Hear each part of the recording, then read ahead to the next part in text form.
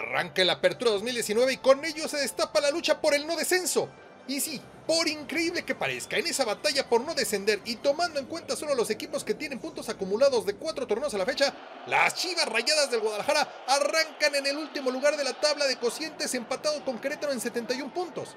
Atlas es el otro gran equipo involucrado con 73 unidades, por lo que Chivas, Gallos y Zorros pelearán codo a codo con Bravos de Ciudad Juárez, que ocupan la franquicia de Lobos WAP, así como el Veracruz, equipo que descendió pero que compró su ascenso a cambio de 120 millones de pesos, y el recién ascendido Atlético San Luis. Así, pese a toda su grandeza, es la realidad del equipo más popular de México, que hoy inicia como último lugar en la tabla de cocientes, por lo que la misión inmediata de su técnico Tomás Boy es sacar a la Chiva del Barranco.